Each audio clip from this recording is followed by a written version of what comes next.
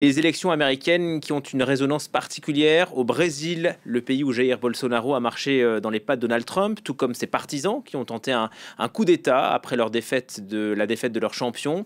Le Brésil, divisé, qui attend donc fébrilement l'issue de cette course à la Maison Blanche. Louise Rollet, bonjour. Vous êtes en direct de Rio pour France 24. Lula, Lula bien sûr soutient Kamala Harris face à Donald Trump. Oui, tout à fait. Évidemment, il soutient euh, le camp démocrate. Je le cite même, si Dieu le veut, Kamala remportera l'élection américaine. C'est ce qu'il a affirmé à des membres de son gouvernement à la veille du premier débat en septembre entre euh, Kamala Harris et Donald Trump. Pour lui, une victoire de la candidate démocrate serait en quelque sorte un rempart contre la montée de l'extrême droite globale incarnée par, Trump. Pardon. pour, pour Lula, d'ailleurs, la Maison-Blanche, Biden à la Maison-Blanche et Lula au palais du Plan Alto depuis 2023 montrent que les deux pays ont un agenda politique plutôt aligné, notamment en matière de protection de l'environnement. On se doute, si Kamala Harris euh, est élue, euh, cet agenda euh, devrait continuer. Kamala Harris a démontré ses positions pro-climat tout au long de son mandat de vice-présidente, mais aussi tout au long de cette campagne présidentielle. évidemment, il existe aussi des désaccords entre le Brésil de Lula et les États-Unis de Biden et de Kamala Harris, notamment du point de vue international, comme sur la guerre euh, en Ukraine. Euh, Lula, alors s'il a évidemment euh, condamné l'invasion russe, il s'est quand même éloigné du positionnement défendu par la Maison-Blanche, qui est d'un soutien inconditionnel au président ukrainien. C'est une position de la part de Lula qui lui a d'ailleurs valu de nombreuses critiques, et ce à plusieurs reprises. Autre exemple, sur la guerre d'Israël contre le Hamas, Biden, dès le début du conflit, s'est toujours montré comme le premier soutien euh, et notamment financier euh, à Israël, alors que Lula, lui, euh, ne cesse de condamner les bombardements à Gaza, mais aussi au Liban. Il parle régulièrement de massacres et de génocides contre les civils palestiniens. Il défend également l'ouverture d'une enquête contre le Premier ministre israélien Benjamin Netanyahou pour de potentiels crimes de guerre.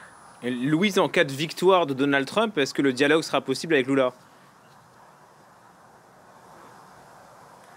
Alors, euh, il a promis euh, qu'il aurait euh, des relations civilisées, mais pour l'administration Lula, tout le monde se doute que ce serait un véritable retour en arrière, notamment sur les questions climatiques. Trump est un climato-sceptique avéré. Lors de son premier mandat, il était, il était sorti des accords de Paris pour le climat, que Biden a ensuite réintégré. Trump a promis euh, d'en sortir euh, à nouveau. Cette, euh, cette victoire potentielle de Trump, elle menacerait évidemment le soutien, notamment financier, qu'apportent les États-Unis au Brésil pour la lutte pour la protection de l'environnement et notamment la lutte contre la déforestation en Amazonie. Surtout, cette victoire ici, elle serait vécue comme un nouvel élan, un nouvel espoir pour le camp Bolsonaro. Jair Bolsonaro, l'ex-président d'extrême droite du Brésil, a souvent été surnommé le Trump des tropiques, tant les similitudes entre euh, les deux hommes et leur gouvernement, leur programme euh, sont frappantes. Euh, ces, similitudes, elles vont même, comme comme vous le disiez, elles se rappellent même dans ces tentatives de coup d'État vécues par, par les deux pays, par les partisans de Trump aux États-Unis et, de Bolsonaro ici au Brésil, qui parlaient de fraude électorale et ne voulaient surtout pas reconnaître les défaites de leurs leaders d'extrême droite.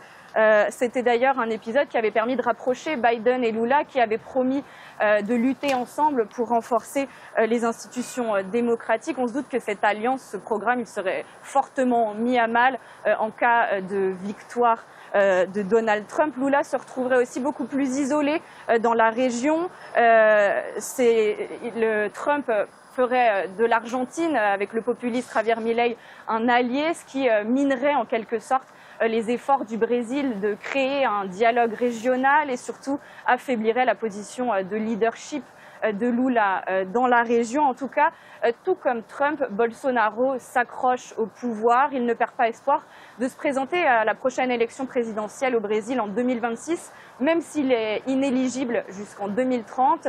Il, fait, il ne cesse de faire campagne pour, pour annuler cette, cette décision judiciaire. En tout cas, ce week-end au Brésil aura lieu le second tour des élections municipales et tout porte à croire que l'extrême droite va de nouveau montrer sa force car les candidats soutenus par Bolsonaro dans la moitié des capitales régionales ont soit, l'ont soit emporté au premier tour le 6 octobre ou vont disputer le second tour ce dimanche.